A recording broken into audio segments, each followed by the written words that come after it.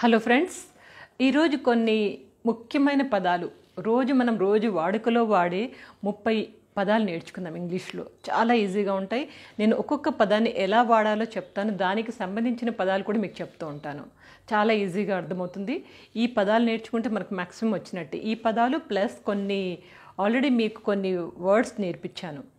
Simple words vocabulary ఈ words కూడా ఈ రెండు కలుపుకొని మెల్లమెల్లగా ప్రాక్టీస్ చేస్తుంటే ఈజీగా వచ్చేస్తుంది. ఇంగ్లీష్ ఏం పెద్ద బ్రహ్మ విద్య కాదు. చక్కగా నేర్చేసుకోవచ్చు.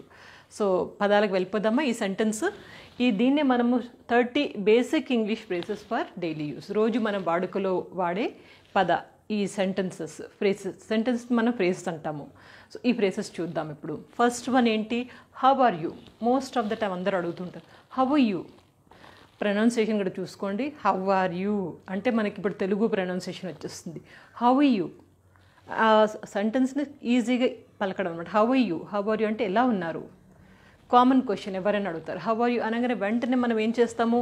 ఆన్సర్ సెకండ్లో ఐఎమ్ గుడ్ ఎప్పుడైనా గుర్తుపెట్టుకోండి. మనము మంచిగా ఉన్నాం. నేను బాగున్నాను అని చెప్పనీకి I'm good I'm excellent I'm awesome I'm superb I'm feeling happy ఇట్లాంటి వర్డ్స్ యూస్ చేయాలి. అంతేగాని ఐఎమ్ ఫైన్ ఐఎమ్ ఫైన్ అంటే చావలేక బతకలేక ఏదో అలా బతుకు ఈడుస్తున్నాడు అని అర్థం అనమాట కాబట్టి ఎప్పుడైనా ఐఎమ్ ఫైన్ అనకండి. హౌ ఆర్ యూ అంటే ఎలా ఉన్నారు? I'm good I'm excellent I'm super ఇలాంటి ఎలాంటి ఫ్రేజెస్ అయినా మీరు వాడచ్చు. అన్నీ యాక్సెప్టెడ్ అది మీ యొక్క చలాకితనాన్ని మీ యొక్క ఎనర్జీని మీ యొక్క యాక్టివ్నెస్ని తెలుపుతుంది. కాబట్టి ఎప్పుడైనా ఇలా చెప్పండి. I'm good I'm excellent I'm super I'm fabulous I'm marvellous ఇట్లాంటి ఎన్ని వర్డ్స్ అని తీసుకోవచ్చు. తర్వాత నెక్స్ట్ ప్లీజ్ కమ్ వెల్కమ్. ఎవరైనా లోపలికి రండి అని చెప్పనీకి please come or please come in. Your most welcome please come in. అట్లా మనం లోపలికి మనం ఇన్వైట్ చేస్తాము. అండ్ తర్వాత thank you for your help. ఎవరు మనకు హెల్ప్ చేసినా కానీ ఎవరు మనకు సహాయం చేసినా కానీ మనం వాడాల్సిన phrase first thank you for your help ఈ విధంగా వాడచ్చు. లేదా thanks a lot thanks a lot dear Ravi for your help పేరు కూడా తీసుకోవచ్చు. Thanks a lot thank you very much thank you so ఇలాంటి వర్డ్స్ వాడచ్చు. Thank you for your help thanks a lot thanks a lot for your help so ఇది thanks ఈ word వాడకండి. Thanks అనేది ఎలా ఉంటుందంటే చాలా నెగ్లెజెంట్గా ఆ చేసావులేపో అన్నట్టుగా ఉంటుంది ఇది. థ్యాంక్స్ అనేది. ఇష్టం లేకుండా చెప్పినట్టుగా ఉంటుంది. కాబట్టి థ్యాంక్స్ అని ఎప్పుడు వాడకండి. Thank you. Thanks lot. Thank you for your help. ఇలాంటివి వాడండి. ఓకే? నెక్స్ట్ తర్వాత కైండ్లీ హెల్ప్ మీ. మనకి ఎవరిదైనా సహాయం కావాలనుకోండి దానికి కైండ్లీ హెల్ప్ మీ అంటున్నాము. కైండ్లీ అంటే దయచేసి నాకు సహాయం చేస్తారా? ఇలా అంటే ఎవరైనా మనకి డెఫినెట్లీ సహాయం చేస్తారు. కెన్ యూ హెల్ప్ మీ అన్నామనుకోండి మన మాటలు కూడా ఆరోగ్యన్స్ తెలుస్తుంది. అలా కాకుండా can you please help me దాని కెన్ యూ అనేదాన్ని కూడా can you please help me అనొచ్చు. లేదా కైండ్లీ హెల్ప్ మీ దయచేసి నాకు సహాయం చేయగలరా? Voice plus words kindly help me అంటే దయచేసి నాకు సహాయం చేయండి. అదేవిధంగా ఇంకొక వర్డ్ చూ ఇంకొక సెంటెన్స్ తీసుకుందాం. ఆర్ యూ కమింగ్ మీరు వస్తున్నారా? మీరు వస్తున్నారని చెప్పనికి are you coming are you coming అది అనొచ్చు. ఇంకా తర్వాత దానికి ఆన్సర్గా సపోజ్ నేను వస్తున్నానని చెప్పనికి yes I'm coming are you coming yes I'm coming no అని చెప్పనికి no I'm not coming yes I'm coming no I'm not coming అట్లా తీసుకోవచ్చు. Next when do you come ఎప్పుడు వస్తారు వెన్ డూ యూ కమ్ ఎప్పుడు వస్తారు దానికి ఆన్సర్ కూడా చెప్తాను మీకు. When do you come tomorrow I will come రేపు వస్తాను. టుడే ఈవినింగ్ ఐల్ కమ్ ఈరోజు ఈవినింగ్ వస్తాను. ఐ మే నాట్ కమ్ నేను రాకపోవచ్చు. ఐ మే కమ్ నేను రావచ్చు. అట్లా మనం డిఫరెంట్ ఆన్సర్స్ మనం తీసుకోవచ్చు. సో ఆర్ యూ కమింగ్ మీరు వస్తున్నారా? Next when do you come ఎప్పుడు వస్తారు? వెన్ డు యూ కమ్ అంటే ఏ టైంకి వస్తారు? టుమారో మా ten o'clock tomorrow morning ten o'clock I'll be there అంటే రేపు పొద్దున పది పది గంటలకు అక్కడ ఉంటాను. టుడే ఈవినింగ్ ఐల్ కమ్ అంటే ఈరోజు ఈవినింగ్ వచ్చేస్తానని. ఆర్ యూ కమ్మింగ్ అంటే మీరు వస్తున్నారా? వెన్ డు యూ కమ్ ఎప్పుడు వస్తారు? వెన్ డు యూ కమ్ ఎప్పుడు వస్తారు? దానికి టైం అనమాట next did you watch movie next phrase did you watch movie మీరు సినిమా చూసారా? Yes I have seen that movie I have seen that movie అంటే ఎస్ నేను చూశాను. Did you watch that movie అంటే మీరు సినిమా చూసారా? దానికి ఆన్సర్ ఏంటి? Yes I have seen that movie answer yes అని చెప్పనీకి చూశాను అని చెప్పనీకి చూడలేదని చెప్పనీకి no I did not watch that movie I did not see that movie so ఆ విధంగా దీన్ని తీసుకోవచ్చు. Next she's singing beautiful song ఆమె చాలా చక్కటి పాట పాడుతుంది. షీఈ్ సింగింగ్ బ్యూటిఫుల్ సాంగ్ దీనికి సేమ్ ప్రేస్ మనం తీసుకోవచ్చు. She's dancing well and she's cycling well she's playing well అట్లా ఏదైనా మనము చేస్తున్న క్రియ చెప్పనికి. She is she is singing అంటే పాడుతుంది. షీ ఈజ్ డాన్సింగ్ అంటే డాన్స్ వేస్తుంది. హీ ఈజ్ ఫైటింగ్ అంటే అతను ఫైట్ చేస్తున్నాడు. అట్లా సింపుల్ సెంటెన్స్కి మనకి ఈ ఫ్రేజ్ బాగా ఉపయోగపడుతుంది. Next where do you stay common question అందరు అడుగుతారు. ఎవరైనా ఎక్కడుంటావు? మీరు ఎక్కడుంటారు? అని చెప్పనీకి. వే డూ యూ స్టే ఎక్కడుంటారు? దానికి ఆన్సర్గా ఐ స్టే ఇన్ హైదరాబాద్ నేను హైదరాబాద్లో ఉంటాను. వే డూ యూ స్టే ఎక్కడుంటారు? I stay in Hyderabad. I stay in Amalapuram. I stay in Nellore.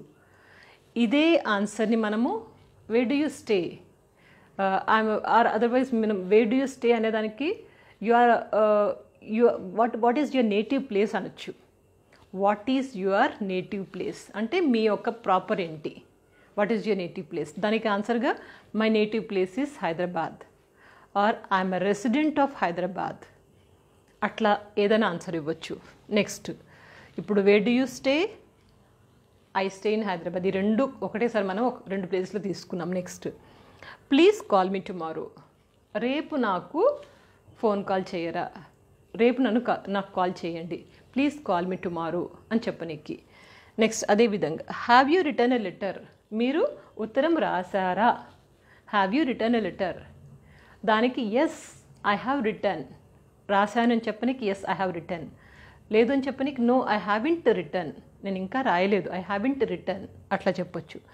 Next అదేవిధంగా how is your health how is your health అంటే మీ ఆరోగ్యం ఎలా ఉంది? హవ్ ఈజ్ యువర్ హెల్త్ మీ ఆరోగ్యం ఎలా ఉంది? దానికి ఆన్సర్గా మనం ఏదైనా చెప్పుకోవచ్చు. Like I'm good it's okay it's running well it's settling well అట్లా ఏదైనా ఆన్సర్ ఇవ్వచ్చు. హవ్ ఈజ్ యువర్ హెల్త్ అంటే ఇట్స్ గుడ్ అని చెప్పొచ్చు. సో ఆరోగ్యం ఎలా ఉంది? వాట్ ఆర్ యూ డూయింగ్ ఏం చేస్తున్నారు? వాట్ ఆర్ యూ డూయింగ్ ఏం చేస్తున్నారు? సింప్లీ సిట్టింగ్ అట్ హోమ్ ఏం చేయట్లేదు? ఇంట్లోనే ఉన్నాను. ఐఎమ్ వర్కింగ్ ఇన్ ఆఫీస్ ఆఫీస్లో పనిలో ఉన్నాను. ఐఎమ్ వాకింగ్ అంటే నేను నడుస్తున్నాను. ఉదయపు వాకింగ్కి వెళ్ళాను. అట్లా వాట్ ఆర్ యూ డూయింగ్ ఎవరినైనా అడగడానికి క్వశ్చన్ మనం ఏం చేస్తున్నారు? అంటే ఐఎమ్ కుకింగ్ అంటే నేను వంట చేస్తున్నాను. నేను పాఠం చెప్తున్నాను. ఐఎమ్ టీచింగ్ ఐఎమ్ రన్నింగ్ ఏదన్నా మీరు చేసే పనిని సింపుల్ ఒక వాక్యంలో చెప్పొచ్చు. భయపడొద్దు దానికి. మనకు తెలుసు అన్నీ. భయపడకుండా చెప్పడం. So what are you doing ఏం చేస్తున్నారు?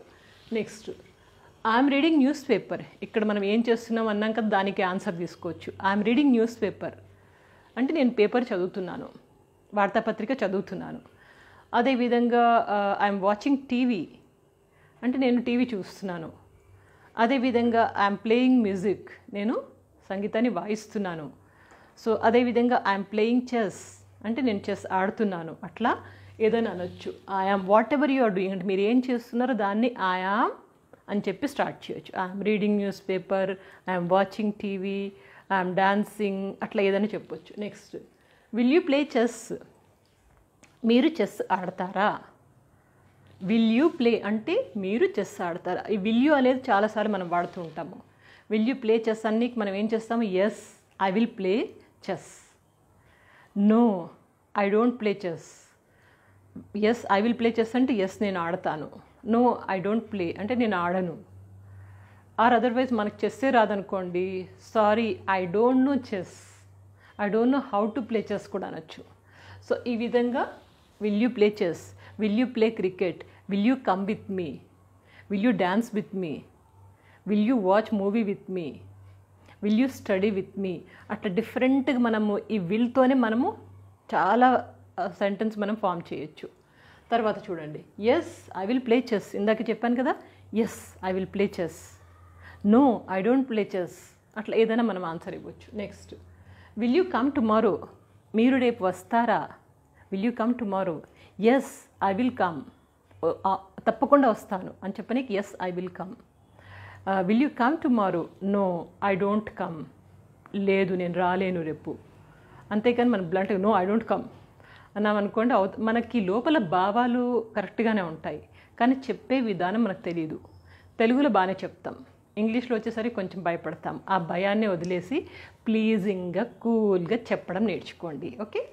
సో ఇది will you come tomorrow means no I don't it's not possible no I don't think so వాయిస్లో కూడా క్లియర్గా ఉండాలి. Next take care of him or her అతని గురించి కొంచెం జాగ్రత్త తీసుకోండి అవతల వాళ్ళ హెల్త్ బాగాలేదనుకోండి టేక్ కేర్ ఆఫ్ హిమ్ అంటే అతని గురించి కొంచెం జాగ్రత్త తీసుకోండి మీ అమ్మగారికి ఒంట్లో బాగాలేదు take care of her health take care of your mother అంటే జాగ్రత్త తీసుకోండి అని చెప్పనీకి ఇది చాలా వాడుతుంటాం ఎప్పుడు take care of her take care of him take care of your mother take care of your father take care of your brother take care of your wife ఇవన్నీ వస్తాయి అదేవిధంగా మైండ్ యువర్ ఓన్ బిజినెస్ జనరల్గా ఎవరైనా మాటిమాటికి మమ్మల్ని disturb చేస్తున్నారనుకోండి అప్పుడు మనం వాడతాం. Mind your own business. అంటే మీ పని మీరు చూసుకోండి. మీ పని మీరు చూసుకోండి అని చెప్పనీకి మైండ్ యువర్ ఓన్ బిజినెస్. దీన్ని రఫ్గా అనొచ్చు కూల్గా అనొచ్చు. Mind your own business. అన్నాం అనుకున్న అవతల మళ్ళీ మన జోలికి రారు. అదే please mind your own business. అంటే నాకు చాలా వర్క్ ఉంది నన్ను డిస్టర్బ్ చేయొద్దు అన్నట్టుగా ఉంటుంది. ఆ ప్లీజ్ యాడ్ చేయడం వలన ఆ సెంటెన్స్ మొత్తం మారిపోతుంది. అది మైండ్ యువర్ ఓన్ బిజినెస్ ఇది. Next can you speak correct English మీరు చక్కటి ఇంగ్లీష్ మాట్లాడగలరా? కెన్ యూ స్పీక్ ఇంగ్లీష్ అంటే మీరు English మాట్లాడగలరా? Can you speak correct English అంటే మీరు మంచి ఇంగ్లీష్ మాట్లాడగలరా? ఒకవేళ ఎస్ అన్నారనుకోండి yes I can speak good English no my English is not good లేదు నేను చక్కగా మాట్లాడలేను. I know a little bit English అంటే నాకు కొంచెమే ఇంగ్లీష్ తెలుసు. ఇలాంటి పదాల్ని మనము డిఫరెంట్గా వాడుతూ ఉండొచ్చు. మీరు ఇంగ్లీష్ బిగినింగ్లో నేర్చుకున్నట్టయితే కనుక ప్లీజ్ మీరు ఒక పెన్ బుక్ తీసుకొని రాసుకుంటూ ఉండండి. రన్నింగ్ నోట్స్ లాగా. ఈ సెంటెన్స్ రాసుకోండి. దానికి తోడు నేను చెప్తున్న పదాలు కూడా రాసుకుంటూ ఉండండి. సో అది can you speak correct English next this is a pen this is a pen ఇది pen this is a watch so this is the bangle so this the camera ఏదన్నా మనము ఇది సో అండ్ సో అని చెప్పనీకి this is so and so this is TV this is refrigerator అట్లా this is మనం చిన్నప్పుడు చాలా చిన్నప్పుడు నేర్చుకున్నవే. కాకపోతే వాడము. తర్వాత చూడండి. ఇంకా నెక్స్ట్ దిస్ ఇస్ పెన్ అయిపోయింది. These are these are my books ఇవన్నీ నా పుస్తకాలు. దీస్ అంటే చాలా ఎక్కువ ఉంటాయి కనుక దీస్ ఆర్ మై బుక్ ఒకటే బుక్ అనుకో ఉందనుకోండి. దిస్ ఇస్ మై బుక్ అంటాం. దీస్ అనే దానికి చాలా ఉంటే మనం వాడతాం. These are my books are these are my pens. These are my friends. అట్లా కూడా వాడచ్చు కొన్నిసార్లు. Next whose luggage is this? ఈ సామాను ఎవరిది? హూజ్ లగేజ్ ఎవరిది అని చెప్పనికి హూజ్ అంటాము. Whose luggage is this? ఒకవేళ మీరు ఎక్కడైనా డబ్బులు పడిపోయాను అనుకోండి పర్స్ పడిపోయింది అనుకోండి వెంటనే మీరు ఏమంటే ఆ పర్స్ తీసుకొని హూస్ పర్స్ ఈజ్ దిస్? ఎవరి పర్స్ ఇది పెన్ను పడిపోయిందండి ఎవరిదన్నా? ఈ పెన్ను పడిపోయింది. నేను వెంటనే పెన్ తీశాను. తీసి అక్కడ ఉన్న చాలామందిని అడుగుతున్నాను హూస్ పెన్ ఈజ్ దిస్ అంటే ఎవరిది ఈ పెన్ను? అని అర్థం. ఓకే? సో ఇది కూడా గుర్తుపెట్టుకోండి. Whose luggage is this whose books are these whose pen is this whose purse is this next the book is on the table book ఎక్కడుంది? Table పైన ఉంది. పైన ఉంది అని చెప్పనీకి ఎప్పుడైనా కానీ on the table on the table the cat is on the table అంటే పిల్లి టేబుల్ మీద ఉంది. Books are on the table అంటే పుస్తకాలు టేబుల్ మీద ఉన్నాయి. సో ఆన్ ద అనేది మనం వాడతాం. The book is on the table పైన ఉంది. Next please don't mind this ఏమీ అనుకోకండి. ఏదైనా తప్పుగా మాట్లాడడం ఏదైనా అనిపిస్తుంది మనం జనరల్గా మనం తెలుగులో వాడుతూ ఉంటాం ఏమనుకోకండి అనేసి. దానికి ప్లీజ్ డోంట్ మైండ్. మనకి ఎప్పుడు డౌట్ వచ్చినా అవతల వాళ్ళతో మాట్లాడు please don't mind my English may not be good. అంటే ఏమీ అనుకోకండి నా ఇంగ్లీష్ సరిగ్గా లేదు సరిగ్గా మాట్లాడలేను అని చెప్పొచ్చు. Please don't mind for my words. అంటే నేను చెప్పిన దానికి మీరు తప్పుగా అనుకోకండి. Please don't mind. ఈ వర్డ్ కూడా ఎక్కువ ఈ సెంటెన్స్ కూడా బాగా వాడుతూ ఉంటాము. Next do you have fever? మీకు జ్వరంగా ఉందా?